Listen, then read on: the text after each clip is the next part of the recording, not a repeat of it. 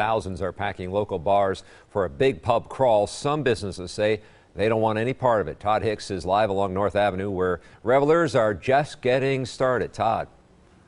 Oh, that's right, Charles. You can see how popular this pub crawl has become. But some bars like Two Buck Food and Spirit tell me they don't want the possibility of problems that come with it.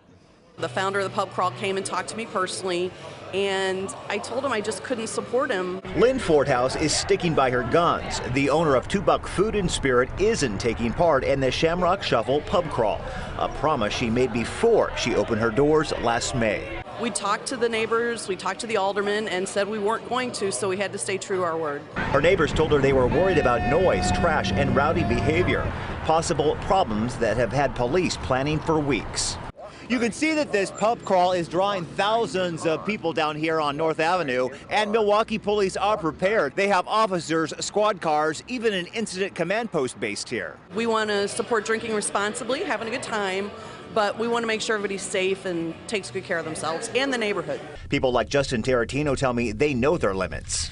I can handle myself no matter what, so I just stay cool and calm and don't act like a fool. And Forthouse admits it's nice to get extra customers. She's just not willing to trade in a relationship with her neighbors for one day. We want to make sure we like living here as much as we like working here.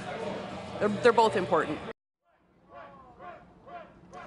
And Forthouse tells me, despite not being an official part of that pub crawl, well, you can see that she still has a lot of customers tonight. On your side, live along North Avenue, Todd Hicks, today's TMJ4. Yeah, looks like it'll be a busy night. Thanks. Tonight, Milwaukee police are urging